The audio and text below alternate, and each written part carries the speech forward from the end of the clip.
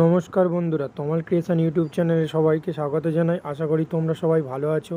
সবাইকে শুভ শারদীয়া জানাই।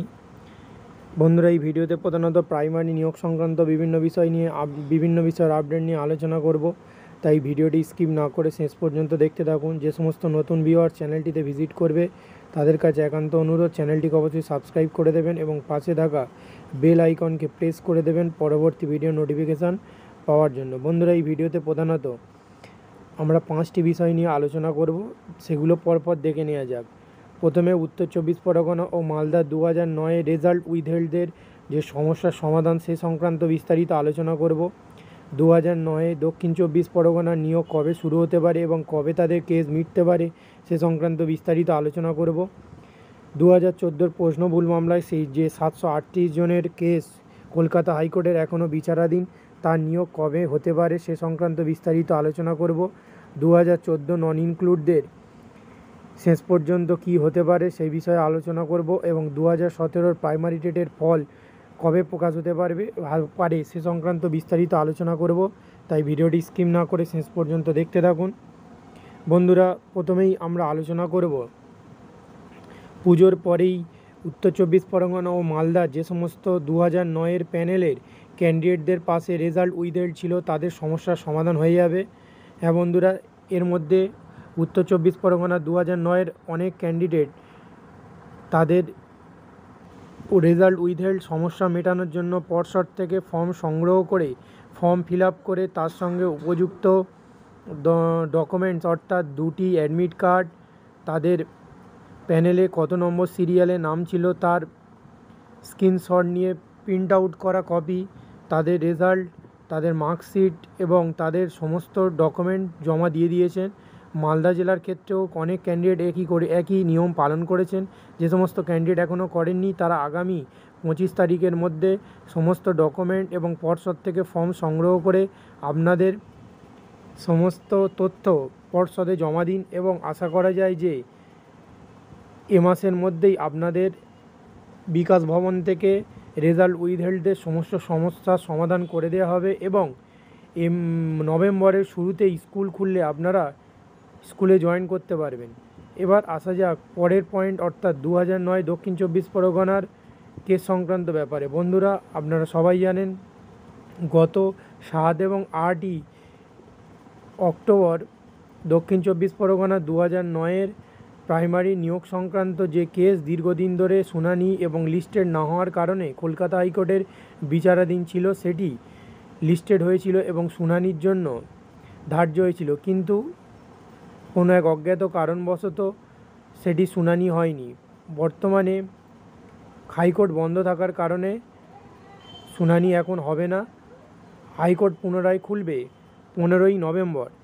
আপনারা সবাই জানেন কলকাতা হাইকোর্টের নতুন প্রচান প্রধান বিচারপতি শপথ নিয়েছেন এবং দু হাজার নয়ের দক্ষিণ চব্বিশ পরগনার ক্যান্ডিডেটরা যদি আর্জেন্ট ম্যাটার হিসাবে কেসটিকে নথিভুক্ত করতে পারেন, তাহলে হয়তো দু তিনটেই শুনানির পরে দক্ষিণ চব্বিশ পরগনা দু হাজার নয়ের সমস্ত সমাধান সমস্যার সমাধান হতে পারে এবং নভেম্বর অথবা ডিসেম্বরের শুরুর মধ্যেই তাদের নিয়োগ সম্পন্ন হতে পারে। বন্ধুরা যে সমস্ত দু হাজার নয়ে দক্ষিণ চব্বিশ পরগনার কোর্ট পিটিশনার রয়েছে, আপনারা কোর্ট খুললেই প্রধান বিচারপতির কাছে অনুরোধ জানান যে আপনাদের মামলাটি দীর্ঘ বারো বছর ধরে কোর্টে রয়েছে এবং আপনি যত তাড়াতাড়ি সম্ভব আর্জেন্ট ম্যাটার হিসাবে এটাকে, এটিকে কলকাতা হাইকোর্টের ডিভিশন বেঞ্চে পাঠান এবং যত তাড়াতাড়ি সম্ভব শুনানির ব্যবস্থা করিয়ে আমাদের নিয়োগপত্র দিন। সেই সংক্রান্ত তথ্য আপনারা, আপনাদের উকিলের মাধ্যমে, হাইকোর্টে রেজিস্টার্ডের মাধ্যমে বিচারপতিকে জানান, হয়তো আপনাদের সমস্যার সমাধান খুব তাড়াতাড়ি হতে পারে। এবার আমরা তার পরের পয়েন্ট অর্থাৎ দু হাজার চোদ্দোর প্রশ্নভুল মামলায় যে সাতশো আটত্রিশ জনের এখনও নিয়োগ সম্পন্ন হয়নি, সে বিষয়ে বিস্তারিত আলোচনা করব। বন্ধুরা, এ সংক্রান্ত মামলাটি কলকাতা হাইকোর্টের ডিভিশন বেঞ্চে লিস্টেড হয়েছে, কিন্তু কবে শুনানি হবে সে সংক্রান্ত বিস্তারিত আপডেট পেলেই আপনাদের পরবর্তী ভিডিওর মাধ্যমে জানিয়ে দেব। বন্ধুরা সাতশো আটত্রিশ জনের মধ্যে যে সমস্ত ক্যান্ডিডেটরা প্রশ্নবুলের জন্য ছ নম্বর পাবেন, সেই সমস্ত ক্যান্ডিডেট যদি নিজের নিজের ক্যাটাগরিতে কোয়ালিফাই করেন, তারপরে আপনাদের ইন্টারভিউ ভাইবা ও স্ক্রুটিনির মাধ্যমে ও ডকুমেন্ট ভেরিফিকেশনের মাধ্যমে আপনাদের নিয়োগ হবে।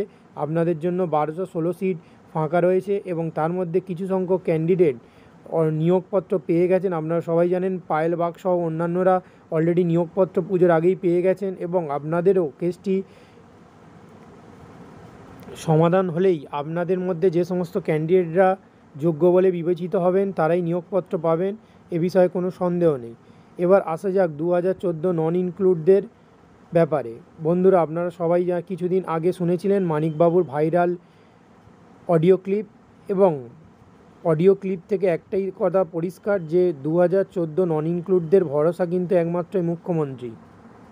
পর্ষদ কিন্তু নিজে থেকে আপনাদের নিয়োগপত্র দেবে না। মুখ্যমন্ত্রী যদি বিধানসভা ভোটের আগে তার দেওয়া প্রতিশ্রুতি রক্ষা করেন একমাত্রই, তবে দু হাজার চোদ্দ নন ইনক্লুডরাই দের ক্ষেত্রে চাকরি হতে পারে, নইলে কিন্তু চাকরি সম্ভব নয়। অনেকে এই ভিডিওতে, ভিডিও শুনে হয়তো আমাকে কটু মন্তব্য করতে পারেন, কিন্তু এটাই বাস্তব। বাস্তবের মাটিতে দাঁড়িয়ে আপনাদের চিন্তা করতে হবে।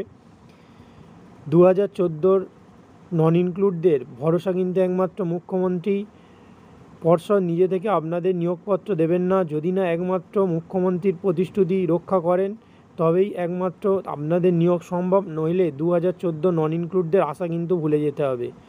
এবার আসা যাক দু হাজার সতেরোর প্রাইমারি টেটের ফলাফল সম্পর্কে। বন্ধুরা দু হাজার সতেরো প্রাইমারি টেটের ফল কিন্তু রেডি আপনাদের সমস্ত কাগজপত্র, অর্থাৎ মেরিট লিস্টও তৈরি। একমাত্র নবান্ন থেকে অর্থাৎ মাননীয় মুখ্যমন্ত্রী সবুজ সংকেত পেলেই দু হাজার সতেরোর প্রাইমারি টেটের ফলাফল প্রকাশ করে দেওয়া হবে। বন্ধুরা দু হাজার সতেরোর অনেক ক্যান্ডিডেট রয়েছেন যারা দীর্ঘদিন বেকার সমস্যায় জর্জরিত, তার মধ্যে পশ্চিম মেদিনীপুর, মাফ করবেন, পুরুলিয়ার এক ক্যান্ডিডেট কিছুদিন আগে ফেসবুক পোস্ট করে মানিকবাবুর উদ্দেশ্যে একটি বার্তা দিয়েছিলেন। তারপরেই আশা করা যায় যে সরকার দু হাজার সতেরোর প্রাইমারি টেটের ফলাফল সামনের সপ্তাহে, অর্থাৎ লক্ষ্মী পুজোর আগেই হয়তো প্রকাশ করে দিতে পারে। বন্ধুরা, এই ভিডিওর মাধ্যমে এটুকুই আপনাদেরকে জানানোর ছিল। পরবর্তী কোনো আপডেট পেলে অবশ্যই আপনাদেরকে ভিডিওর মাধ্যমে জানিয়ে দেব। ভিডিওটি ভালো লাগলে অবশ্যই লাইক এবং যাদের পছন্দ হবে না অবশ্যই ডিসলাইক করবেন, কমেন্ট এবং শেয়ার করবেন। পরবর্তী কোনো আপডেট নিয়ে দেখা হচ্ছে অন্য কোনো ভিডিওতে। ভালো থাকবেন, সুস্থ থাকবেন এবং পুজো উপভোগ করুন। নমস্কার।